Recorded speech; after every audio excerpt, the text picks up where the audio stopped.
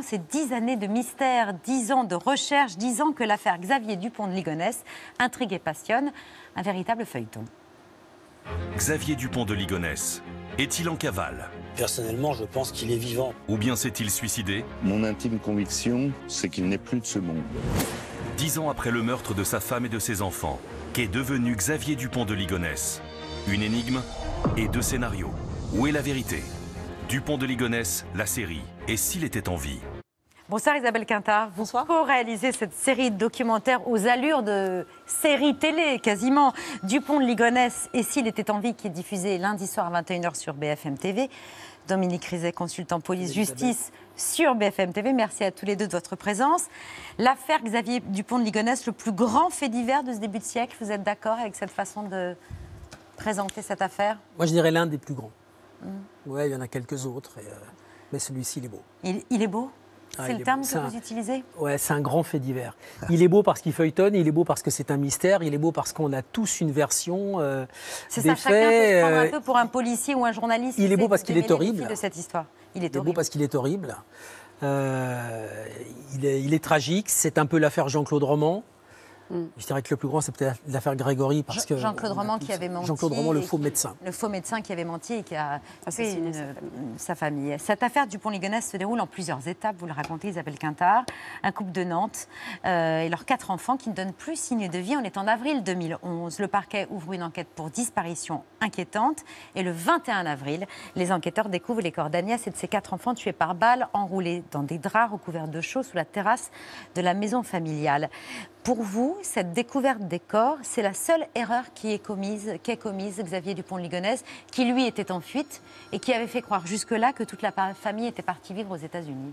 Oui, sans doute. euh, il pensait avoir commis le, crime parfait, mais euh, il avait tout préparé, il avait tout mis en place pour réussir ce crime.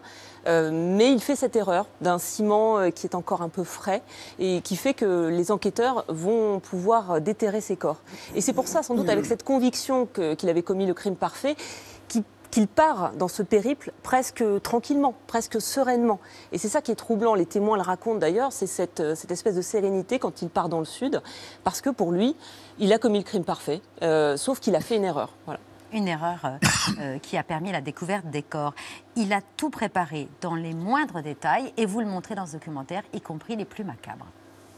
Un couple me contacte pour me dire que un mois auparavant, euh, ils étaient au stand de tir près de Nantes et qu'ils ont reconnu Xavier Dupont de Ligonnès qui était avec deux jeunes garçons et que tout à fait par hasard, eux ont pris des photos d'eux et que dans le champ, on voit Xavier Dupont de Ligonnès. La photo est glaçante parce que euh, Xavier Dupont de Ligonnès a emmené volontairement ses enfants pour s'entraîner là-bas, sachant que d'après l'enquête, à ce moment-là, il était quand même établi qu'il savait qu'il allait commettre le meurtre. Donc quelque part, il emmène ses enfants là où il s'entraîne pour plus tard aller les tuer. Emmener ses deux fils s'entraîner euh, au tir un mois avant qu'ils ne soient abattus, ça révèle quand même une personnalité euh, euh, au, dans le, dans le, enfin, au moins perverse, quoi, ou sans bah, affect. En fait, on, on ne sait pas. C'est vrai que cette, cette photo, elle est presque hypnotisante parce qu'on on a envie de comprendre ce qui se passe dans sa tête. Il y a peut-être deux, deux hypothèses. Moi, je me suis dit peut-être qu'il y a un dédoublement de sa personnalité. Peut-être qu'alors qu'il sait qu'il va les tuer, il se comporte comme un père de famille, euh, euh, que- comme d'habitude. Ou peut-être, peut-être que c'est pour brouiller les pistes. Peut-être que c'est pour dire je vais transformer cet acte préparatoire euh, de, de mon crime en une activité familiale euh, anodine. Peut-être. Voilà, on peut se poser la question. Et c'est vrai que cette photo, on la regarde, on se dit mais qu'est-ce qui s'est passé? Et les témoins qui étaient tout autour disent euh, il, était, euh, il était très chaleureux, il était très tactile avec ses enfants. Donc vraiment, il était affectueux. On ne pouvait pas imaginer ce qui allait se passer. Personne ne pouvait dire cet est- homme était un peu allait étrange. se passer une exécution méthodique. Mm. C'est ce que décrivent les enquêteurs. Et comment est-ce que les enquêteurs, justement, définissent-ils la personnalité de Xavier Dupont-Ligonnès Moi, je trouve que, alors, eux, eux c'est les psychologues, hein, les psychiatres qui, euh, qui disent ça, mais dans le documentaire, euh, moi, je l'ai regardé hier soir, il y a quelque chose de, de terrible, c'est qu'on on sent la descente aux enfers. Là, c'est un mois avant les images qu'on a vues hein, au, au club de au stand de tir. Images euh, exclusives, jamais sorties, jamais vues. hein.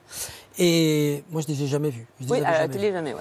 Et, et donc, on sent la descente aux enfers. Il est là avec ses enfants. Il est le seul à, à connaître sa situation financière. il a pris 12 000 euros sur le compte de ses parents, il a pris, emprunté 50 000 euros à sa maîtresse qui lui rendra jamais, puis il lui dit, il est le seul à connaître l'ensemble de sa situation financière. Ses parents savent qu'il leur a pris un peu d'argent, sa copine, il ne peut plus payer son loyer depuis 4 mois, c'est tellement bien raconté que on a, on, est presque, on a presque de la compassion pour lui, pour cet homme, quand, euh, quand on le sent descendre, glisser. Et je vais dire un truc qui va être peut-être j'ai l'impression que, comme Jean-Claude Roman, il tue ses enfants par amour et il tue sa famille par amour.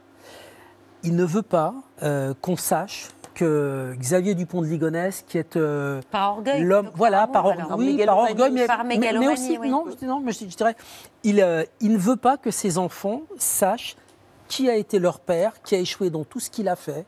Il y a ce carton de carte de visite que tu montres dans le documentaire c'est pathétique. Quoi. Il a des cartes de visite, il a créé plein de sociétés, il a gardé des, petites boîtes de cartes de visite de tout ce qui a échoué. Tous ses échecs sont dans un carton et il ne veut pas que sa famille sache ça.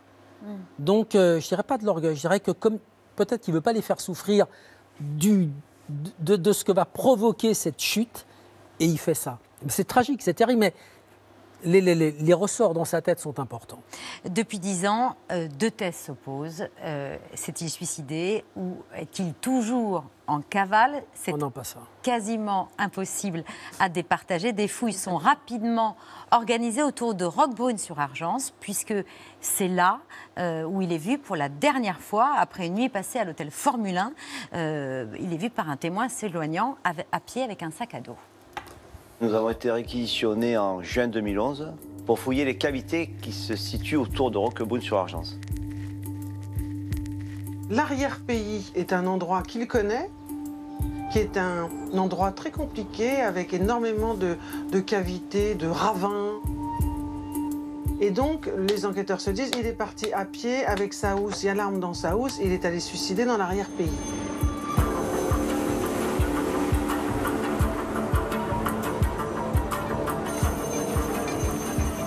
On a un fichier dans le Var, fichier des cavités du Var, et on a fouillé les cavités qui étaient euh, sur le fichier. On n'a rien trouvé. C'est assez étonnant, parce qu'en règle générale, souvent, quand la chasse euh, reprend au mois de septembre, il y a forte chance qu'on retrouve une personne suicidée. Est-ce qu'on a mis assez de moyens pour retrouver euh, un corps, Isabelle Quintard? On a mis beaucoup de moyens. Euh, après, euh, peut-être qu'on ne l'a pas trouvé parce qu'on ne pouvait pas le trouver, parce qu'il n'était pas là mm. aussi. Euh, donc il y a eu énormément de moyens, il y a eu des, hélicoptères thermiques, il y a eu beaucoup d'équipes qui ont sillonné toutes ces cavités. Après, voilà, comme le dit le spéléologue, ils ont visité les cavités connues. Voilà. Maintenant, est-ce que Xavier Dupont de Ligonnès avait la connaissance de cavités inconnues? Est-ce qu'il avait la capacité de les connaître? C'était pas un sportif. Moi, plusieurs de ses proches m'ont dit qu'il n'était pas randonneur. Donc, voilà, on, ne sait pas.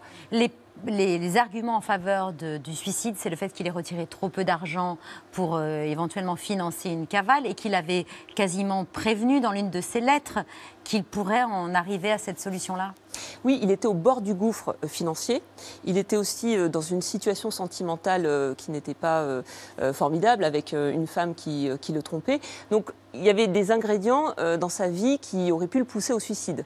effectivement, dans, dans une lettre à ses proches, il parlait de suicide, mais il leur demandait aussi euh, parfois de l'argent à sa maîtresse, il parlait de suicide pour lui, euh, lui réclamer de l'argent.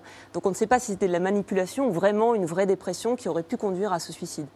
Euh, l'autre hypothèse, c'est la cavale, mm. avec un témoin qui ne peut plus parler, Michel Rétif, euh, qui, il y a dix ans, aurait été euh, au courant euh, de, cette possibilité-là, d'une cavale. Il aurait fait appel à, lui il y a dix ans pour organiser cette cavale. Détail troublant, le téléphone de Michel Rétif mm. et de Xavier Dupont-Ligonnès, Borne, fonctionnait au même endroit quasiment en même temps, quelques jours avant sa disparition. Oui, le 13 avril dans le Var, c'est ça, le 13 avril dans le Var. Et Isabelle le montre dans le documentaire, il y a les itinéraires que vont suivre les téléphones grâce au, bornage hein, qui vont être reconstitués et qui sont au même endroit. Et puis ensuite, il y en a un qui part vers Fréjus et l'autre vers Port-Grimaud. Mais ils sont au, même endroit. Michel Rétif euh, savait, savait sans doute des choses. Mais il a toujours nié La moindre complicité, Isabelle Quintard Oui, il a toujours nié. Euh, il a donné un alibi, d'ailleurs, euh, que les enquêteurs ont vérifié. Mais il a aussi dit aux enquêteurs qu'il pensait que Xavier Dupont-Ligonnès était en cavale. Pour lui, il était persuadé de ça. Euh, il pensait qu'il avait démonté sa famille, voilà, qu'il s'était débarrassé de sa famille. Mais pour lui, il ne s'est pas suicidé. Et c'est vrai que ce bornage, il est quand même troublant, parce que c'était des amis de longue date, ils avaient parcouru les États-Unis ensemble, donc ils se connaissaient bien. Donc c'est vrai que c'est une piste qui a beaucoup intéressé les enquêteurs. Maintenant, Michel Rétif euh, s'est suicidé. Donc, Sans euh, jamais revenir sur ces déclarations. voilà. Et peut-être en emportant ses secrets, on ne sait pas. Alors il y a deux autres pistes qui n'ont jamais rien donné, qui n'ont même pas été vérifiées. Vous le racontez, deux déplacements mystérieux effectués les jours qui ont suivi les meurtres. On sait que son téléphone a borné dans une cité de Nantes en pleine nuit, Oui. peut-être pour se procurer de faux papiers. Peut-être pour se procurer de faux papiers ou peut-être pour se débarrasser de, matériel compromettant. Euh, on sait que dans sa maison, les enquêteurs n'ont retrouvé que des câbles, plus d'ordinateurs, plus de portables, alors qu'ils les avaient utilisés pour usurper l'identité euh, de ses enfants et de sa femme. Euh, effectivement, aussi les faux papiers, on, ne sait pas. Pas été euh, vraiment vérifié parce que les enquêteurs m'ont dit Mais justement, pourquoi? Oui. Parce que son téléphone a aussi borné près d'un lac. Là aussi, il se pose l'hypothèse de savoir s'il ne serait pas débarrassé Mm. de tout le matériel informatique et tout. Rien n'a été vérifié. Alors, euh, les enquêteurs m'ont dit on n'a pas vérifié parce qu'il n'y avait pas de témoin oculaire qui a été aperçu. pouvait attester de. Voilà, et qui, euh, il- personne, pers- enfin, personne n'a vu quelqu'un en train de jeter quelque chose. Dans ce cas-là, ils auraient déclenché des fouilles. Mais euh, en l'absence de, de- de témoins, ils n'ont ils n'ont rien fait. À part ça, depuis dix ans, plusieurs fois, on a cru. Ouais. Euh, une fois à Roquebrune sur Argens, ensuite il y a eu Fréjus aussi, les, les fouilles, etc. Et puis le truc dingue auquel on a cru pendant quelques heures, un bout de nuit, euh, c'était en octobre 2020 à l'arrestation d'un homme à Glasgow. Après plus de huit ans de cavale, c'est peut-être la fin de l'une des plus mystérieuses énigmes criminelles de ces dernières décennies. Xavier Dupont de Ligonnès a été arrêté euh, ce soir en Écosse. Nous vous confirmons donc que cet homme arrêté à Glasgow à l'aéroport est bien Xavier Dupont de Ligonnès. Nous, euh, nous sommes non- en mesure de, de le confirmer. Une source anonyme aurait informé la police écossaise que Xavier Dupont de Ligonnès allait monter dans un avion depuis l'aéroport de Roissy-Charles de Gaulle. C'est vrai que c'est un peu embarrassant parce que si on apprend par exemple dans une heure que c'est- pas tout à fait lui, euh, on, on sera un petit peu dans l'embarras. L'homme arrêté hier n'est pas Xavier Dupont de Ligonnès, c'est l'ADN qui a parlé et l'ADN euh, eh bien exclut euh, le fait que ça soit lui. Et oui, le test ADN dira qu'il s'agit de Guy Joao, un retraité français d'origine portugaise qui rejoignait son épouse écossaise et qui a été victime d'une dénonciation calomnieuse. Je pense qu'à la prochaine alerte, on va être prudent, on va dire. non, Dominique? Moi, je vais tomber malade à la fin. Combien de policiers sont encore sur l'affaire? Bon, il y a toujours une dizaine de policiers qui potentiellement travaillent sur ce dossier, mais euh, si, on, si autre chose se produit dans le secteur, ils vont aller travailler sur, sur autre chose. C'est le, le- un, un service qui travaille. euh, Ils abandonneront sur les- jamais? Non, c'est le, le- le- le service des personnes recherchées, ils n'abandonneront jamais, ils vont essayer de le chercher. Euh, elle, est, elle est intéressante cette soirée du vendredi, je ne vais pas revenir dessus, mais euh, moi j'étais j'étais mal parce que j'arrivais pas. à- pour moi, il est mort. C'est votre intime donc, conviction. Ouais, pour moi, il est mort. Et Parce qu'on ne peut pas disparaître aujourd'hui sans laisser. je sais pas, après, après euh, Anne-Elisabeth, si, si on le retrouve dans 15 jours, euh, cette phrase, je me souviens de la Eh phrase ouais, ouais. d'Éric Dupont-Moretti ici, hein, moi jamais. Mm. Mais euh, bon, voilà. Moi, je pense qu'il est mort. Et j'ai eu du mal ce soir-là parce que ce que j'arrive pas à conceptualiser, c'est de me dire voilà, il, a- il aurait un passeport biométrique. C'est impossible de se faire faire un faux passeport biométrique. Seuls les services secrets, la DGSE, peut avoir des faux passeports biométriques, c'est pas possible. Un ancien passeport, c'est bizarre. J'ai vraiment eu du mal. J'ai répété deux, trois fois dans la soirée. Si c'est pas lui, s'il est encore vivant, s'il nous regarde, il doit bien rigoler. Mais, mais c'est vrai que euh, moi, j'arrive pas à croire, j'arrive pas à croire qu'il est, qu'il est encore vivant. Parce que c'est pas possible. Vous avez une intime conviction, Isabelle Quintard, pour conclure? Alors, moi, je pense qu'il est encore en vie. Ouais. Et c'est possible Ça m'a fait plaisir. de disparaître sans laisser de traces en 2021 C'était la thèse pour de conclure. Society aussi. Oui, oui, oui, non, mais, non, mais c'est vrai parce mais- que euh, voilà, les spéléologues, les chasseurs euh, pensent qu'au bout de 10 ans, on l'aurait retrouvé.